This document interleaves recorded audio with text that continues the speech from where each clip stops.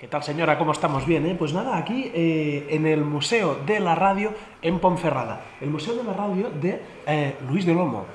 Luis del Olmo, hola, bienvenidos a protagonistas. Yo inventé la radio antes incluso que pusieran los micrófonos. Aquí está. Uno de los tíos más veteranos de los medios de comunicación, no solo de la radio, sino de los medios de comunicación en general en este país. ¡Ojo! El premio Ondas, qué envidia.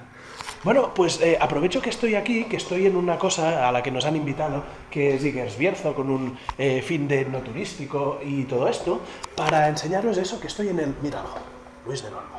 Eh, que estoy en el Museo de la Radio en Ponferrada y para contaros que en eso empecé yo. Muchas veces me preguntáis, oye, ¿y tú cómo empezaste en esto de la tele y en esto de Internet y en esto de YouTube, etcétera? Pues esto empezó cuando yo tenía 18 o 19 años en una radio local de Barcelona, uh, que se escucha en toda Barcelona, en, bueno, en toda Cataluña de hecho, y en, en, Andorra también, y que después de esto ya, al cabo de un año y pico, pues me ficharon en Cataluña Radio, y me fui ahí a hacer un programa que se llamaba Vist y no Vist. Ese programa fue el embrión en catalán y en radio um, de lo que luego ha sido el Visto lo Visto. Visto lo Visto lleva cuatro temporadas, pero es que antes de esas cuatro temporadas yo hice siete temporadas en Cataluña Radio del Visto lo Visto. Ojo, esto es de las primeras uh, imágenes y sonido que existe de la radio en Barcelona. Ojo. La naturaleza nos ha otorgado dotación limitada de células cerebrales. Casi un capital, grande o pequeño. Ojo, Ramón y Cajal es muy bueno porque en este documento de aquí, hostia, Ramón y Cajal, antes Juan Ramón Jiménez. Eh, y he estado viendo un rato y es muy curioso cómo la gente que nosotros o todos en algún momento hemos estudiado leyéndolos en libros, etcétera, hostia, claro, de repente en esa época les podías escuchar en la radio. Entonces, esto es muy guapo porque quiere decir que gente que hoy esté en la radio, gente que, que hoy esté en YouTube, etcétera, dentro de unos años, no ya a través de libros, sino a través de los propios vídeos, etcétera, se estudiará lo que hicieron en ese momento.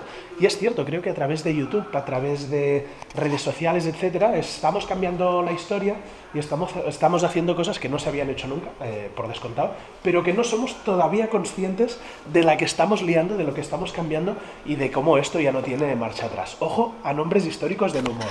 Eugenio, Gila, eh, Doña Rogelia. Ya, de Doña Rogelia yo ya no era tan fan, ¿eh? pero de Eugenio y de Miguel Gila evidentemente sí. Y hostia, historia, iba a decir historia viva, claro que viva, porque mucha de esta gente todavía está viva, mucha ya, ya no, eh, de la radio. Ojo, ¿qué más hay por aquí? Típico eso de la época de la radio, llamar. Esto aquí ya se hace tampoco, de llamar a las radios para contar cosas. Bueno, la gente mayor todavía lo hace, pero la gente joven no. Eh, porque ya mandan mails, hacen tweets y esas cosas. ¿eh? hashtags. Ojo, aparatos. Esta la tiene mi padre, Telefunken, en casa. Mi padre es muy fan del tema de la radio y de todo esto, era radioaficionado. Y, y hablaba ahí por la emisora y todo esto. Y yo creo que de ahí me empezó a venir a mí el gusto este por la comunicación, por hablar y por hacer el friki. Eh, y ojo, hostia, esto es brutal. No sé si lo leeréis bien. Uh, Gallina Blanca actúe con, con Avecrem. 1960 miércoles 20 de enero. Esto es muy fuerte porque esto es el inicio del branded content, ¿eh?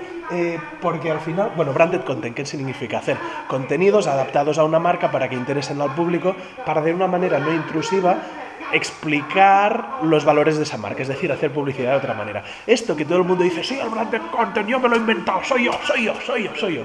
Bueno, eh, y en Gordon Sin es a lo que nos dedicamos. Eh, pues es muy curioso, un guion de 1960.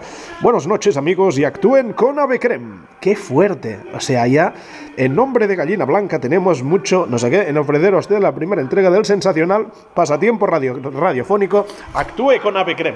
No me jodas, esto es en los inicios de Branded Content en 1960.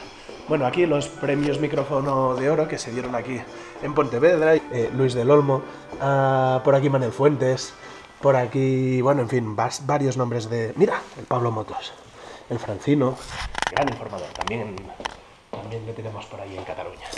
Y en fin, que merece la pena si os pasáis por aquí, porque, hostia, suena antiguo, es muy antiguo, y antes nos han abierto esto, que era una caja de música preciosa, y es un placer pasearte por aquí, porque en cierto modo, uh, vuelves a los orígenes. No, yo no soy de esta época, que, que diréis, puto viejo, el tío se le se conserva bien, tiene 80 años.